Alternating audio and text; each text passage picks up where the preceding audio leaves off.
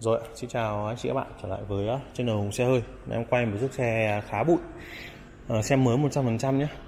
Tuy nhiên thì à, đây là phiên bản à, X-Force và là bản X-Seed Nhưng sau nó bụi thì là Các bác biết là từ thời điểm ra mắt ấy Thì à, phiên bản này có X-Force có 4 phiên bản.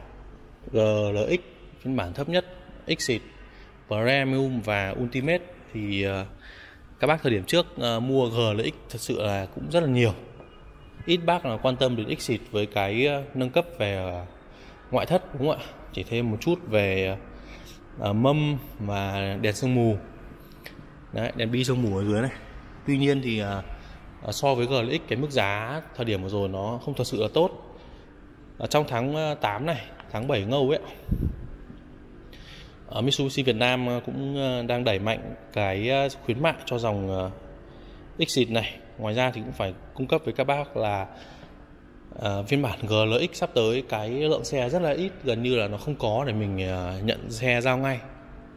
Đấy, thì uh, anh chị có thể tham khảo cân đối bản Xit nó đang được hạ giá và cái nâng cấp option ví dụ như là uh, mâm phay xước này, đèn sương mù này, đúng không ạ? Thì ờ, phiên bản ờ, Exit này ờ, 640 triệu giá niêm yết. Các bác lưu ý giúp em. Thì bên em bắt buộc phải trả đúng giá sách bán hàng trong thị trường miền Nam.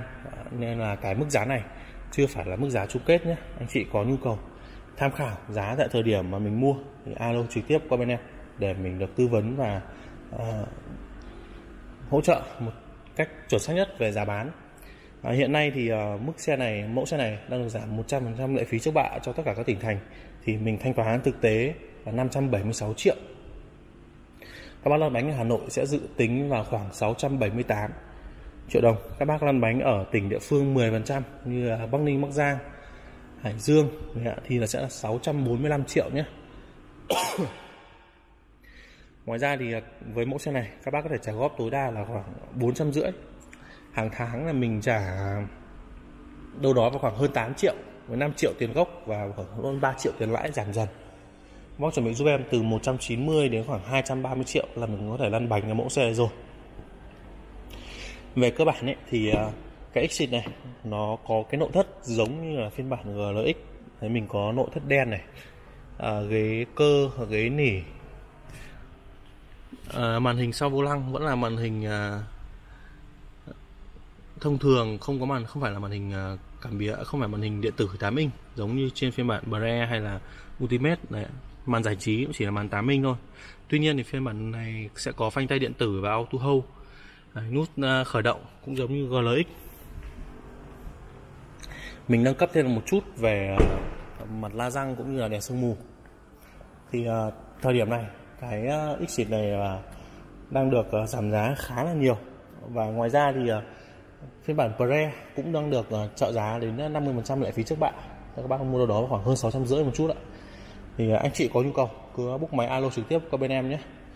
Cái uh, Xịt này thì uh, đa phần là các đại lý còn khá là nhiều xe mình có thể thoải mái lựa chọn. GLX thì gần như là giao hết rồi. Đấy ạ. bây giờ thì đa phần là còn ba phiên bản cao hơn một chút thôi. Xịt uh, Pre và Ultimate thì là sẽ sẵn xe hơn so với phiên bản GLX rồi xin chào hẹn gặp lại các bác trong video tiếp theo.